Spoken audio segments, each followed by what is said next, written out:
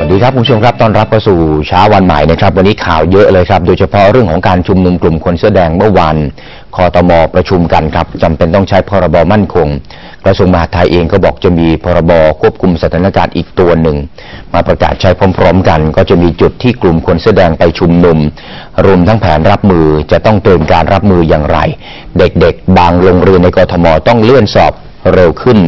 ป้องกันปัญหาความวุ่นวายและการจราจรนะฮะวันนี้หนังสือพิมพ์หลายฉบับ ก็ลงเรื่องของการเมืองเรื่องใหญ่เรื่องคดีอาชญากรรมก็หลายคดีนะครับ ให้ดูหน้าหนึ่งของหนังสือพิมพ์แต่ละฉบับนะครับอ่าดูของข่าวสดนะฮะผวาแดงเกินแสนกฎหมายมั่นคง เข้ม 13 วันอันตราย ภาพด้านบนลงทุกฉบับนะครับ ด้านบนนี้ฮะเป็นภาพของพระบาทสมเด็จพระเจ้าอยู่หัวเสด็จออกณห้องประชุมชั้น 14 อาคารเฉลิมพระเกียรติ โรงพยาบาลศิริราช พระราชทานพระบรมราชบุโรกาสให้นายอภิสิทธิ์เวชชาชีวะ นายกรัฐมนตรี เข้าเฝ้าถวายรายงานการบริหารราชการแผ่นดิน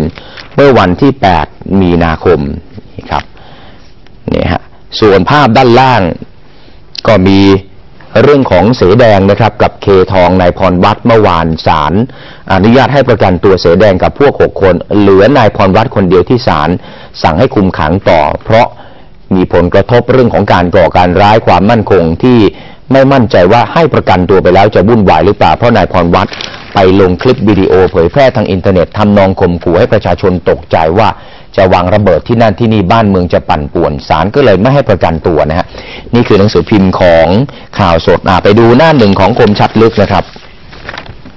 คมชัดลึก มาร์กเลื่อนเยือนออสเตรเลีย เข้มรับมือแดง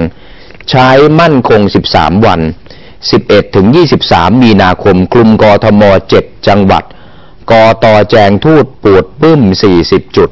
นี่ครับก็มีพื้นที่ประกาศใช้พรบมั่นคงลงหน้าหนึ่งมีแผนที่เลยนะฮะกรุงเทพปริมณฑลมีสมุทรปราการสมุทรสาครนครปฐม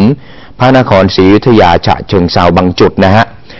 เนี่ยครับแล้วก็มีเรื่องของรางวัลออสการ์ด้วย นี่คมชัดลึกนะครับ ไปดูมติชนนะฮะหน้าหนึ่งของหนังสือพิมพ์มติชนนะฮะมาร์กงดไปนอก ชงใช้กฎหมายมั่นคง คุมแดง 13 วัน นปชคุยฝ่ายยุทธการทหารหนุนมอทองงัดพรบป้องกันภัยสกัดอีกชั้น เคทองทีมบื้มแบงค์วืดประกันนี่ครับ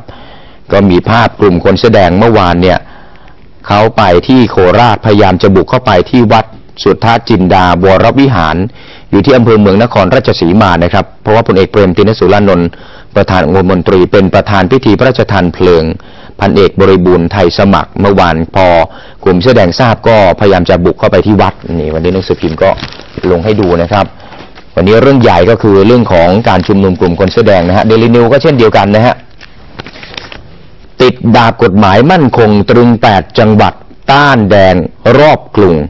จัดกำลังห้าหมื่นพร้อมรับมืออภิสิทธิ์งดเดินทางไปต่างประเทศ แล้วก็ด้านขวามือของ Daily News ก็มีแผนผัง แผนที่เตรียมประกาศใช้พรบความมั่นคงนะครับในอำเภอต่างๆ แล้วก็จังหวัดรอบๆ กรุงเทพในเขตปริมณฑล